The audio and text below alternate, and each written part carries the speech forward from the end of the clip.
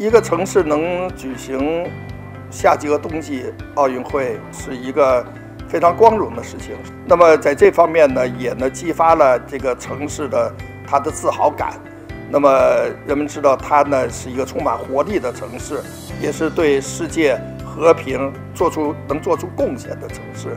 在这方面呢，也对于体育运动的普及和青少年他们的健康的成长都会。有潜移默化的、长久的这样的作用。